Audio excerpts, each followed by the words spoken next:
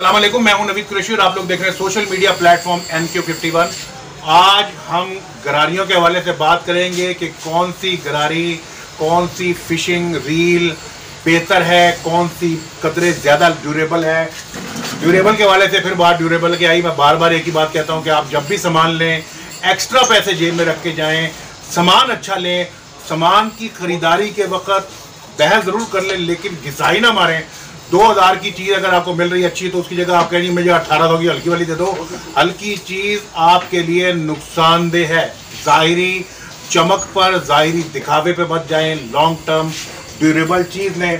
आज Mughal fishing tackle Banni market shop number तीन सौ सत्ताईस, उस्ताद मकसूद साहब के पास में आया हूँ और आकर मैं इनसे गरारियों के हवाले से इंफॉर्मेशन लूँगा।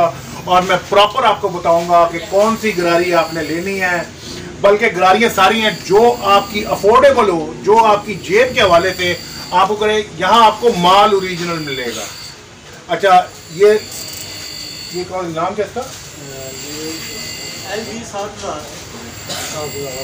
एल बी सात हज़ार। L B. ये एल बी सात हज़ार की गरारी है। मुख्तलिफ़ पौंड की मुख्तलिफ़ साइज़ की डोरें इसमें आप चढ़ाई जा सकती हैं और शायद ये तेरह बॉल बैरिंग की है। स्टील ड्रम में है, बेहतरीन है क्वालिटी बेहतरीन है। इसकी जो आप इसको ग्रिप कह लें रॉड ग्रिप कह लें रॉड स्टैंड कह लें, ये बेहतरीन सॉलिड है। मेरे पास एक पचास तेरह मैंने अभी हाल ही में चंद दिन पहले लिया है, वो साली यहाँ से टूट गई है। अब मैं कभी उस पर सूत्र बाँध रहा हूँ कभी मैं उस पर एरल लैड लगा रहा हूँ लेकिन ये चीज़ अगर टूट गई तो ये दोबारा नहीं जुड़ती। और क्योंकि ये कितने की है? ये जनाब आपको तीन हज़ार की मिलेगी। अच्छा ये भी वही है। ये भी वही है कलर पाइनियर की गिरारी है। और ये 12 बॉल बैरिंग में है और इसका नाम है डी ई फाइव थाउज़ेंड बारह बॉल बैरिंग में है स्टील ड्रम में है मुख्तलिफ़ वराइटियों में मुख्तलिफ़ गरारियाँ हैं। आप इनके पास आके जो मर्ज़ी गरारी ले सकते हैं। दो गरारियाँ जिनका मैं ज़िक्र करना चाहूँगा वो एक तेरह पचास है। तेरह पचास को मैं अक्सर कहता हूँ तेरह पचास आके बंद करके ले लो। तेरह पचास वो होती है दादा ले और पोता खेले और तेरह पचास के साथ ये पचास ग्यारह भी है पचास बारह। पचास बारह। ये पचास बारह भी है। तेरह तेरह पचास तेरह पचास तेरह पचास, बारह पचास, चौदह आइडियल गिरारी हैं। मैं किसी का नाम नहीं ले रहा, मेरी बात को समझने की कोशिश करना जब मेरी अपनी दुकान थी, उस वक्त बड़ा ओरिजिनल एक नंबर माल आता था, फिर कुछ दोस्त मेरे, जिनका कारोबार था, ये इसका केबल का, वो जानते हैं मैं किन का ज़िक्र कर रहा हूँ।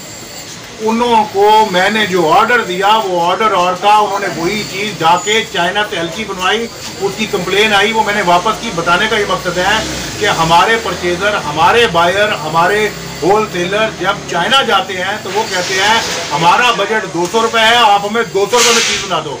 और चाइनीज़ पता नहीं क्या कौम है यार, वो साली दो सौ में वो चीज़ बना देती है। भाई क्वालिटी पे कंप्रोमाइज़ नहीं करना, यहाँ की जो गरारी जिनका रिव्यू आपको मैं गरारियों का दे रहा हूँ, मैंने इन गरारियों को प्रॉपर खोल कर चेक कर कर इनकी सारी ईची बीची चेक की है। उसके बाद मैं आपको ये रिकमेंड कर रहा हूँ कि ये माल ओरिजिनल नहीं है, लेकिन ओरिजिनल से किसी सूरत कम भी नहीं है। इस माल में कोई खामी नहीं है और इसका कंपटीटर इसका मीटू आपको मार्केट में ज़रूर मिल जाएगा, लेकिन ये जो माल है, ये माल आपको शायद मार्केट में ना मिले। तीसरी गरारी जिसका मैं हमेशा ज़िक्र करता हूँ, अल्लाह मेरे हालात करेगा, मैं लूँगा। लूना है। लूना इनकी भी बाप है, लूना इससे भी अच्छी गरारी है। आप इनको गरारियों को जब भी लेना चाहते हो आपको जेब अफोर्ड करती हो। तो कितने की है? और ये? चार हज़ार दो सौ, चार हज़ार सैतालीस सौ, इस रेंज में आपको यहाँ से भी सामान मिल जाएगा और बाकी जगह से भी जहाँ से भी आप लेना चाहेंगे, मिल जाएगा, लेकिन डिपेंड करता है कि आपने असल ओरिजिनल ड्यूरेबल और पायदार सामान कहाँ से लेना है। आखिर में दो गरारियों का रिव्यू मैं आपको और दूँगा।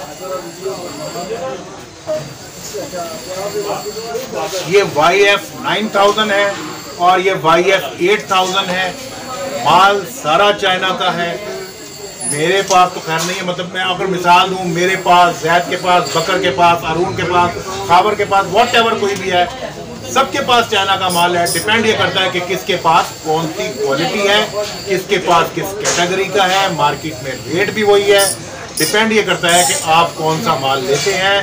तो मुगल फिशिंग टैकल के ऊपर अगर आप इनसे गरारियाँ मंगवाएँगे तो यहाँ से गरारी के सॉलिड होने का बेहतरीन मटेरियल होने का, उसकी आपको मैं गारंटी देता हूँ। लेकिन ये भी याद रहे कि सामान लेने के बाद जो इम्पोर्टेंट काम होता है, वो सामान की हिफाजत होती है, जो शिकारी ने खुद करनी होती है। कोई भी दुकानदार आपको ऐसा माल नहीं देगा जो ज़िंदगी भर चले।